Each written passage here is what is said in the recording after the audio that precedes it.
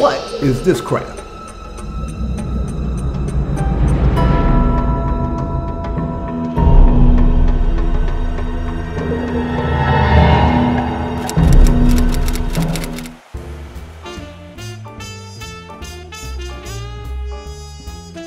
Cindy, I'm glad you made it. Just relax yourself and have a good time.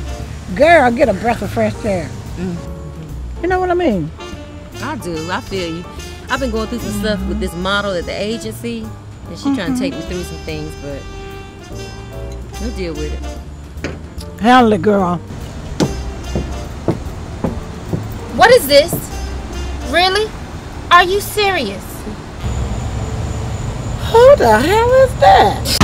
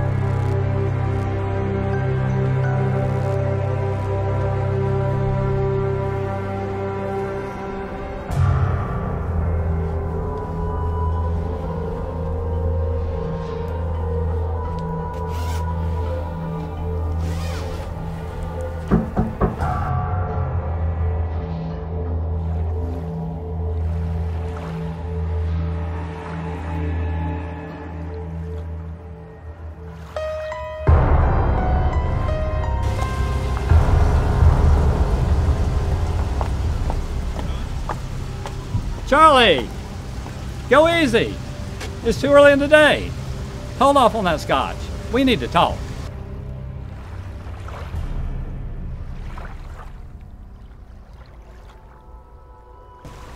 How are you, Charlie? Well, I was having a Kodak moment with my best friend here until y'all showed up. You're a little early, Mr. Mayor. Yeah, I know, Charlie. Early is a good thing. I have a busy day ahead of me. Victoria will brief you as to why I called this meeting. Gentlemen, bear in mind I'm only here to review information and strategy that's relevant to our mutual interests. Steve, Mr. Mayor, I don't work for City Hall, but this new district attorney you hired is, is barking up the wrong tree into your affairs. She's interfering with our partners. That's not good. That may be true, but this DA works for me.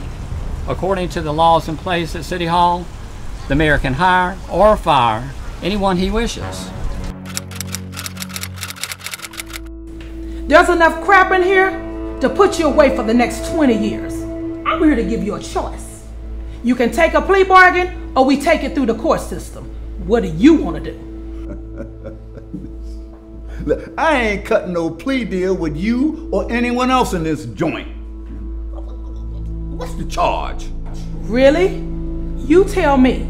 There's enough evidence in here to put you behind under the jail with no parole. Give me a name, and I'll let you walk out of here a free man. Look, look, look, I ain't no snitch. Your charges won't stick because you goons ain't got nothing on me. You are struggling in the real world, Marty. Yet you're balling and spending big time. A man with a nickel and dime job is hustling somewhere. Here's my scenario. You are were employed by Watts Construction Company on James Island. It says your employer at that time paid you 20 bucks an hour. How is it that a low life like yourself get busted on a yacht with over half a million dollars of unmarked bills? Who's from the money? Who you protecting? Who the hell are you? Who am I? I could be your worst nightmare. Or I could be the DA that could keep your behind out of jail. That's the girl I was telling you about. The model. So you serious about suing me? Well, guess what, Cindy? I'm suing you, your little friend over here, and your company. Now sweat on that. Hold up. Wait a minute. Don't bust up in here like you own nothing. You started this, and I'm gonna finish it. You only got yourself to blame for this mess. I never thought you would do something like this to me. Because if it wasn't for my fashion designs, your company would be non existent. Your last chance, Marty. Give me a name, and you walk out of here a free man. Look, look, I, I'm gonna see my lawyer. I ain't talking to no crazy woman about nothing. Before I say another word, get me my lawyer. Look, look, look, I ain't no criminal. All that loot your officers found on the boat don't belong to me. I was just hanging out on the waterfront with some babes, you know, having a few drinks, you know, letting it flow. You know, getting a few, few hugs and a few laughs. You know, no harm done. Give me a name. Look, lady, what you asking me to do is bigger than you and me. Sure, I ain't snitching on nobody. If you want some answers, I suggest you start looking in your own backyard. I- I- I- I- that's all I'm gonna say. Hmm, Backyard.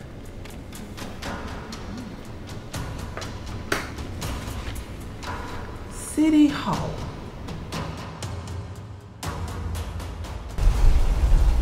What about the situation with Marty Jocko Huffman? Why was he arrested in the first place? Your police department commissioner got a tip from your DA, who is the one who initiated the arrest. Let's come up with a plan to solve this craziness. The district attorney's job termination may not be the best option. Well, what do you suggest? Look, I don't have time for a court date. I'm too busy. Do I need to leave?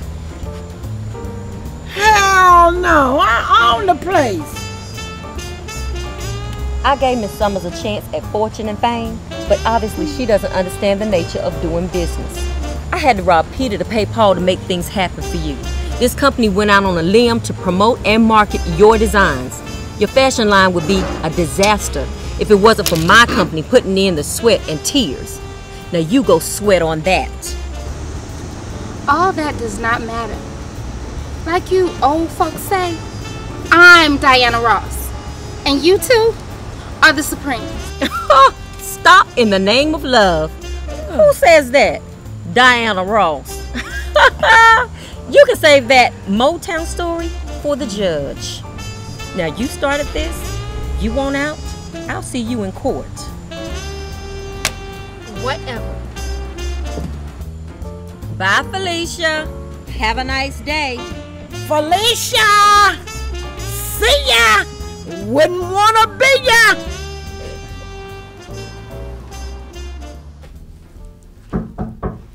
Judge McGinnis? Yes, I'm Judge McGinnis. Uh, your assistant at the front office uh, let me in. Do you have a moment to talk? How may I help you? I'm Major Williams. I'm the new prosecutor for the city of North Charleston. Last Friday, I was summoned to meet with you. What exactly can I do for you? So, you're the new court's prosecutor. you don't look so tough to me. Am I supposed to look tough, Your Honor?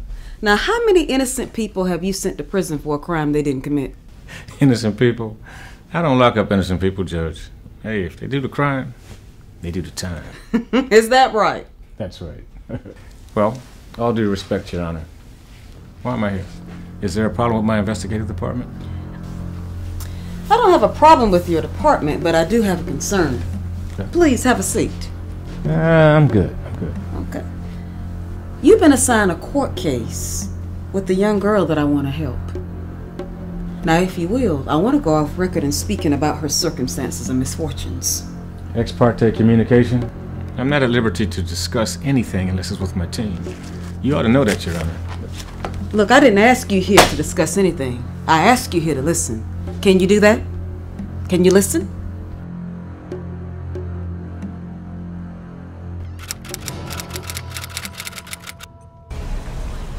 Charlie, Victoria, I'm happy about my job as mayor of Charleston. I've been on this block way too long to let this district attorney take me down. Listen up, you two. I've got a plan. I ask you here to listen. Can you do that? Okay. I'm all ears. There's a 17 year old girl who's fallen to bad luck in your system, and I want to help her. We all deserve a second chance. Now, you're here because I don't want you to look like a fool when I dismiss the case. A fool? Judge McGinnis, do you realize what you're saying? This young lady has been given numerous opportunities, yet she continues to commit the same crime. Now that she's 17, she can be tried as an adult. And like I said earlier, you commit the crime, you do the time. When is her first court appearance? If I'm not mistaken, it's in about three weeks. Is it possible for me to see her? No. It will show partiality towards the case. It will not happen. Okay, let's do this. All of your court dates are on my court docket. So, why don't I put them on hold until I return from vacation in 10 weeks? Will that give you enough time to think about it? You can't do that, Your Honor. oh, you think it's not allowed? Well, you think again. Now, your workload won't get any easier. You know you're breaking all the rules in the judicial system. Well, in my courtroom, rules are meant to be broken. So you have a great day, Mr. Prosecutor. It's nice meeting you, Your Honor. Nice meeting you, too.